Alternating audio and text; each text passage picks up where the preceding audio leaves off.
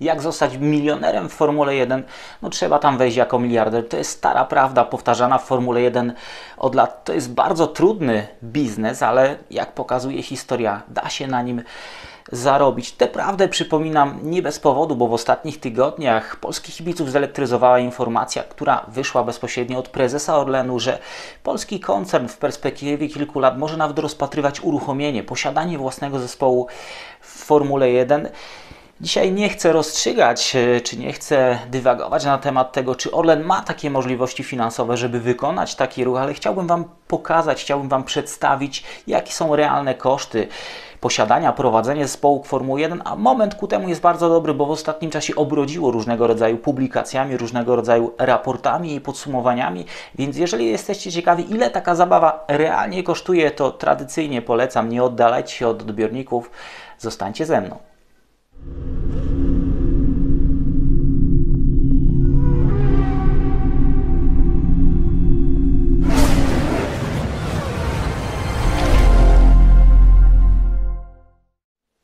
Jest czwartek, 23 stycznia, Daniel Biały, Echa Potoku. Polski zespół Formuły 1, jak to świetnie brzmi, jak to fantastycznie by brzmiało. I takie perspektywy przedstawił, roztoczył w jednym z wywiadów e, prezes Orlenu Daniel Obajtek, mówiąc, że taki ruch jest na stole, taki ruch jest rozważany, czyli to zwiększenie zaangażowania w Formule 1 może pójść właśnie w kierunku posiadania własnego zespołu. Nie do końca wiemy, co oznacza posiadanie własnego zespołu, czy co prezes Orlenu miał do końca na myśli, bo są e, dwie tak naprawdę możliwości. Pójście w kierunku tego, co zrobiła chociażby marka, marka Alfa Romeo, czyli zainwestowanie dużych pieniędzy w istniejący już zespół, przemalowanie go na własne barwy i stworzenia wrażenia, że to my jesteśmy tam, że ten zespół jest nasz, choć tak naprawdę wiemy, że Alfa Romeo tylko nabyła prawa do posługiwania się nazwą zespołu, nabyła prawa do narzucenia własnej kolorystyki samochodu, jak również pewne prawa decyzyjne, chociażby dotyczące obsady jednego z foteli. Jeżeli taki jest kierunek, to Orlen jest na bardzo dobrej drodze, żeby w perspektywie naprawdę niedługiego czasu stać się właśnie takim podmiotem, być w posiadaniu e, praw do zespołu Formuły 1, ale nie w pełni go posiadać, nie w pełni zarządzać tym zespołem. I drugi kierunek, no, taki prawdziwy, e, tak naprawdę, jeżeli chodzi o możliwość posiadania własnego zespołu, czyli kupienie lub uruchomienie własnego zespołu Formuły 1 i zarządzanie im od A do Z. E, związane jest z tym nie tylko prowadzenie całej operacji, podejmowanie decyzji, czy to personalnych, czy marketingowych, ale również e, dbanie o jego finanse. E, I tutaj możliwości znowu pojawiają się dwie. Pierwsza z nich to jest uruchomienie zupełnie nowego zespołu, co widzieliśmy wielokrotnie w ostatnich latach z bardzo różnym skrótkiem. Raczej te nowe podmioty, które się kreowały, które powstawały, nie gościły zbyt długo na arenie e, Formuły 1. I drugi kierunek to jest e, kierunek zakupienia, przejęcia, ale w całości istniejącego już zespołu Formuły 1. I już powiedziałem o tym, że historycznie wejście do Formuły 1 poprzez Stworzenie nowego e, tworu jest bardzo, ale to bardzo trudne. Nie tylko z uwagi na to, że trudno jest zebrać mm, fundusze, trudno jest zebrać zdolnych ludzi, trudno jest zebrać te wszystkie technologie, żeby taką operację e, prowadzić, ale również ze względu na przepisy związane z finansowaniem zespołów. Nowe zespoły, które pojawiają się, nie mają takich praw do e, czerpania korzyści z bycia w Formule 1, jak te zespoły, które już mają e, pewien staż.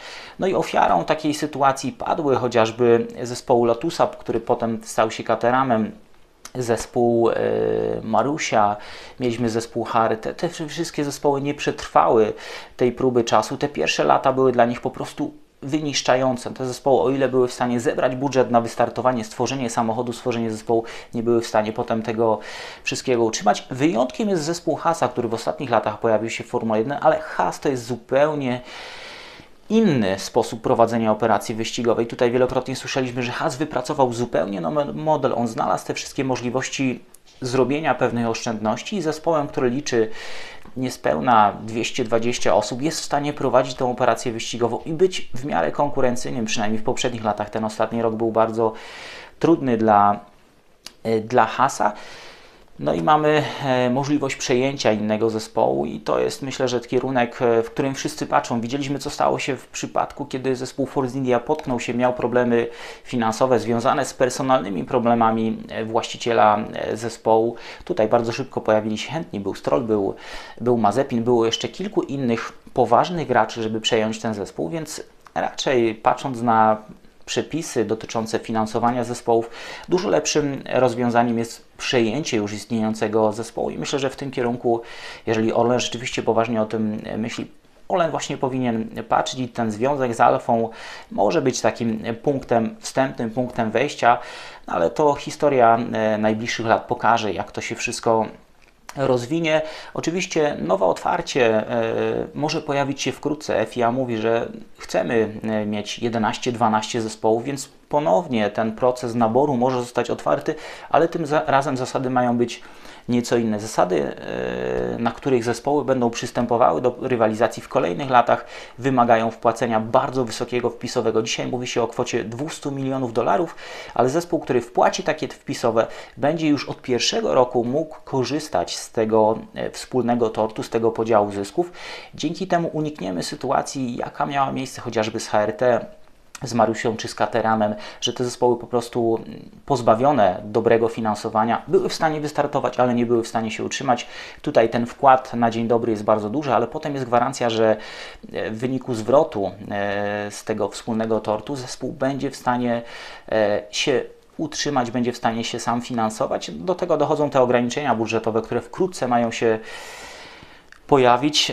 To jest taki rys, który ma Wam e, uzmysłowić, jak duże możliwości są, jak wiele różnych możliwości było i jak wiele różnych możliwości będzie w przyszłości, żeby stać się właścicielem zespołu Formuły 1. A teraz do meritum. Jakie są koszty prowadzenia zespołu Formuły 1? Na stronach serwisu RaceFans możecie znaleźć opracowania dotyczące wszystkich 10 zespołów, które są w stawce, opracowania tego, ile zespoły zainwestowały, ile odzyskały z tej całej operacji wyścigowej, ale publikacja Forbesa, która dotyczy zespołu Toro Rosso, zespołu środka stawki, czyli zespołu, który teoretycznie byłby pewnie e, w zainteresowaniu Orlenu, pokazują, że te wyliczenia RaceFans nie były do końca tak dokładne. Tam jest różnica około 30 milionów dolarów.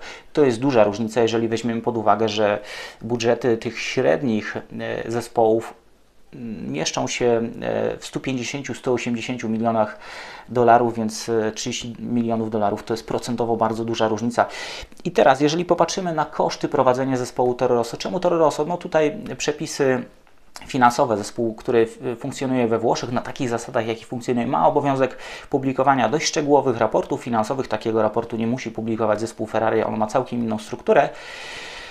I z tej informacji e, dziennikarze Forbesa wyciągnęli bardzo ciekawe liczby. I tak największym kosztem, jeżeli chodzi o funkcjonowanie zespołu Formuły 1, jest zakup ubrań, zakup nalepek, zakup materiałów potrzebnych do zbudowania samochodu Formuły 1 i to jest kwota około 56 milionów dolarów. Bardzo duża kwota. Kolejna kwota związana z funkcjonowaniem zespołu duża kwota to jest y, kwota związana z podróżowaniem, z utrzymaniem tej całej operacji wyścigowej, z naprawami, z honorariami dla kierowców, jak również y, rachunki za energię czy rachunki za telekomunikację, generalnie porozumiewanie się.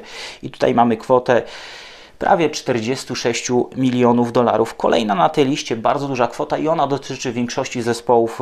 Y, to jest 40 milionów dolarów koszt utrzymania pracowników.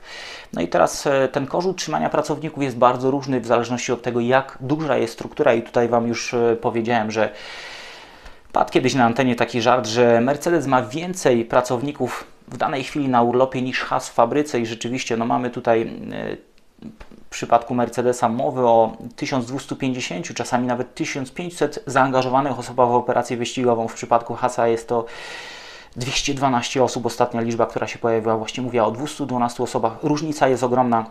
Tu z tych kosztów no, można w jakiś sposób uciekać i has ucieka od tych kosztów yy, zatrudniania pracowników, kupując bądź zlecając wszystko, co się, co się da. No i dzięki temu ten zespół może funkcjonować na tak wysokim poziomie mimo tego, że nie zatrudnia tak wiele osób. I kolejne kwoty, które się tutaj pojawiają, e, non-cash charges, czyli to są wszystkie opłaty w cudzysłowie oczywiście, to są koszty związane z chociażby amortyzacją, z utratą wartości sprzętu, ze zużyciem się sprzętu. To są koszty wyliczone na 8,5 miliona e, dolarów i tutaj już będę e, szedł po kolei inwestycje w nowe e, produkty, w nowe narzędzia do produkcji, które znajdują się w fabryce, w nowy sprzęt, nowy sprzęt w fabryce i nowy sprzęt, który jest wykorzystywany na to, że to jest 5,7 miliona dolarów i kolejna kwota, która tutaj się pojawia, to są silniki, wynajem e, czy dzierżawa nieruchomości, e, wynajem samochodów, wynajem e, toru testowego i to jest kwota 22,6 milion, prawie 23 miliony dolarów i przy tej kwocie chciałbym się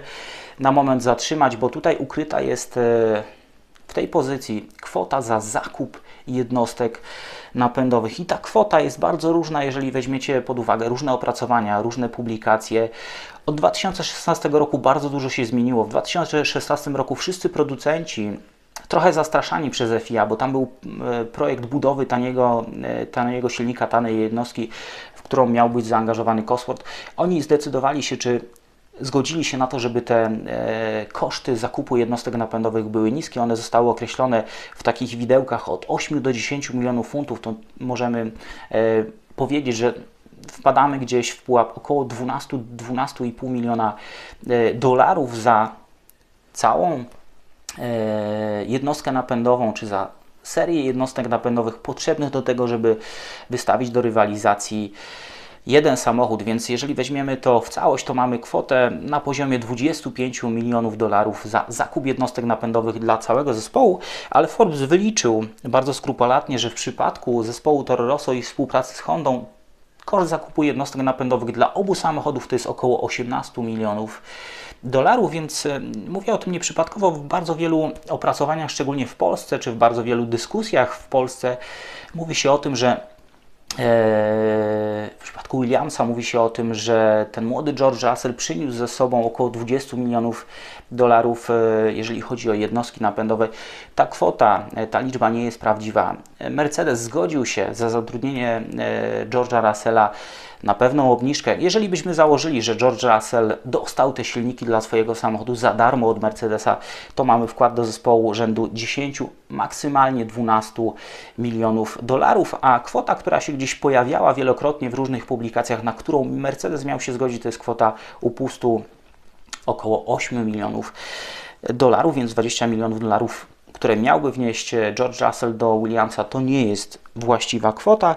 I kolejne kwoty, które się tutaj pojawiają, inwestycja e, czy rozwój e, własnego oprogramowania to jest 0,8 miliona dolarów i 1,4 miliona dolarów to są wszystkie opłaty związane z członkostwem, byciem w Formule 1, jak również kary, które zostały nałożone przez zespół. Więc koszt funkcjonowania zespołu Toro w roku 2000 18 zamyka się w kwocie 181 milionów dolarów. Kwota jest dość znaczna, no ale oczywiście każdy zespół ma możliwość e, pozyskania sponsorów, każdy zespół ma możliwość pozyskania finansowania, każdy z zespołów otrzymuje również dość dużą kwotę, jeżeli chodzi o całość budżetu ze wspólnej kasy FOMU i te kwoty przy tych średnich zespołach to są kwoty wsparcia rzędu 50-60 maksymalnie 70 milionów dolarów. Tyle otrzymują zespoły środka stawki ze wspólnej kasy FOMU. Jest to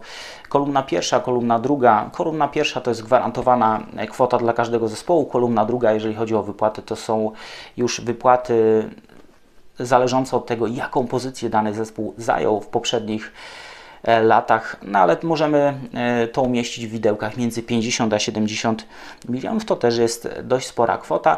Przyjrzyjmy się, jak wyglądają e, jak wygląda druga strona tego równania, czyli jak wyglądają przychody zespołu Toro w 2018 roku.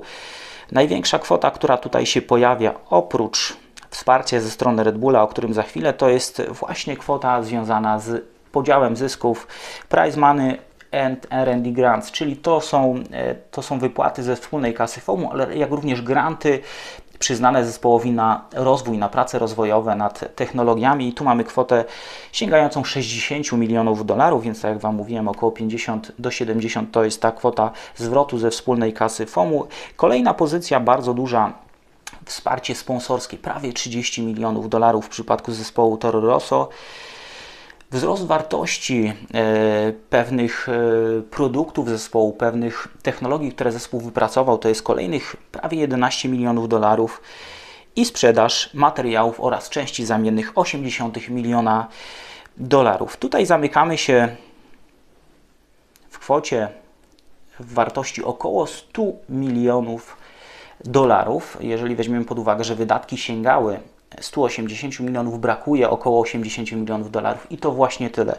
Dokładnie 82,9 miliona dolarów wpłaca Red Bull temu młodszemu zespołowi, tej młodszej siostrze, żeby ten mógł funkcjonować. I to właśnie takie koszty, jeżeli weźmiemy zespół środka stawki, koszty rzędu 80-90 milionów dolarów trzeba ponieść dodatkowo. Takie pieniądze trzeba wyłożyć, żeby móc ścigać się w Formule 1. Takie pieniądze, takimi pieniędzmi Red Bull wspiera ten mniejszy zespół, którego zadaniem jest głównie rozwijanie e, kierowców, więc to kwota dość znaczna. Jak to wygląda w przypadku zespołu e, z czoła stawki? No tutaj to Wolf w jednym z wywiadów powiedział, że Daimler dokłada w tej chwili do zespołu Mercedesa, zespołu z nieco e, wyższego miejsca, zespołu z dużo większym budżetem, dokłada około 40 milionów funtów. W przeliczeniu na dolary mamy około 52 miliony dolarów, więc widzimy, że kwota też jest duża, więc niezależnie od tego, z jaką skalą zespołu mamy do czynienia, w przypadku Mercedesa mamy oczywiście ogromny marketing, e, który, który działa obok,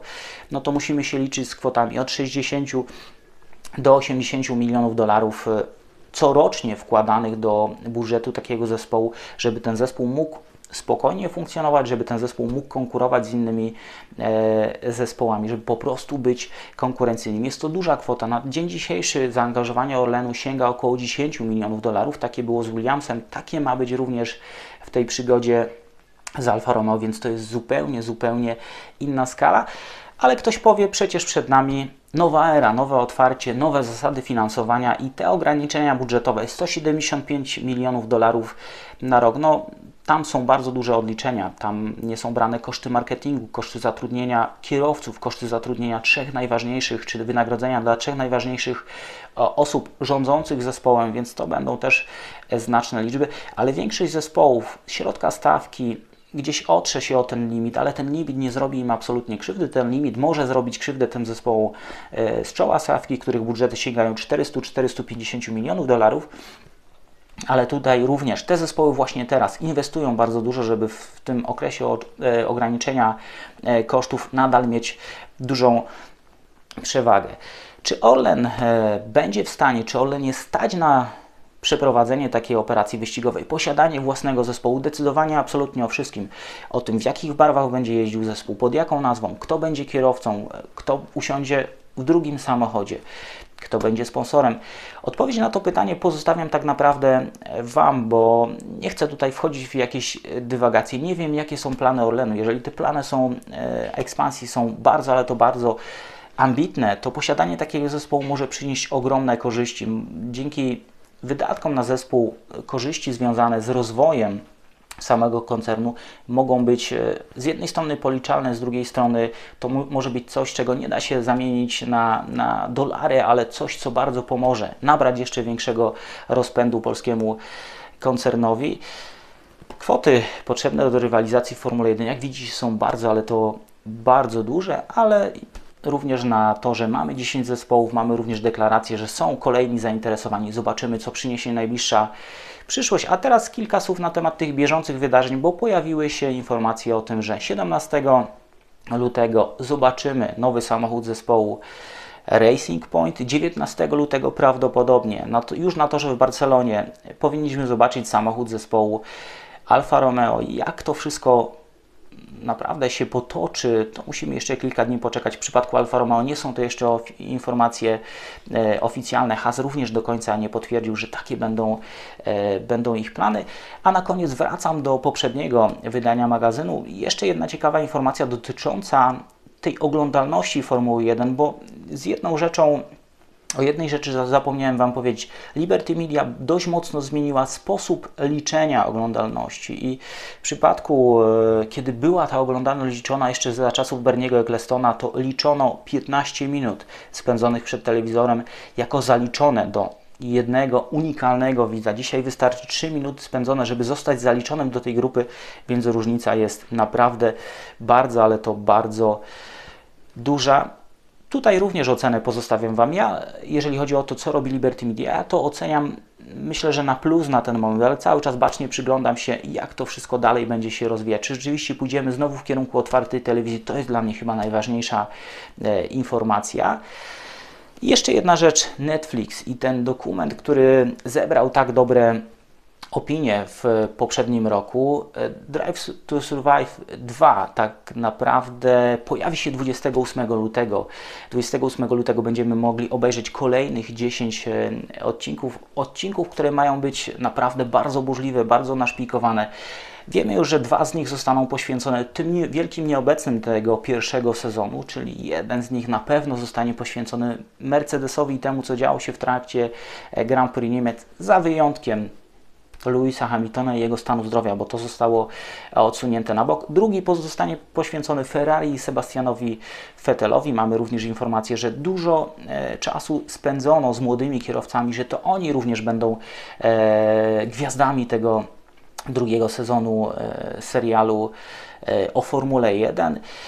E, dużo czasu spędzono również z kierowcami, którzy byli bezpośrednio związani z tym młodym kierowcą, który zginął na torze e, w trakcie rywalizacji Formuły 2, więc widzimy, że tych wątków e, jest zdecydowanie więcej, że tych wątków jest bardzo dużo, żeby pewnie wypełnić 30 odcinków, a nie 10. Gdzie w tym wszystkim Robert Kubica na ten moment nie wiemy. Wiemy o tym, że zdjęcia z udziałem Roberta były kręcone przez cały sezon, że pracownicy Netflixa ekipa Netflixa towarzyszyła Robertowi przez bardzo długi czas, ale musimy pamiętać również o tym, że jest dużo tematów i nie zawsze wszystko, co zostało nagrane, zostanie wykorzystane. Czekamy cierpliwie, ja już ostrzę sobie zęby na tego 28. Będzie co oglądać, a moment też idealny. Po testach, a przed startem sezonu myślę, że to świetnie obudzi nas, ponownie nas obudzi jeszcze mocniej do tego, żeby cieszyć się, żeby kibicować kolejnym sezonie Formuły 1. Na dzisiaj Wam już dziękuję, że byliście ze mną. Trzymajcie się i do zobaczenia wkrótce, bo dzieje się naprawdę wiele.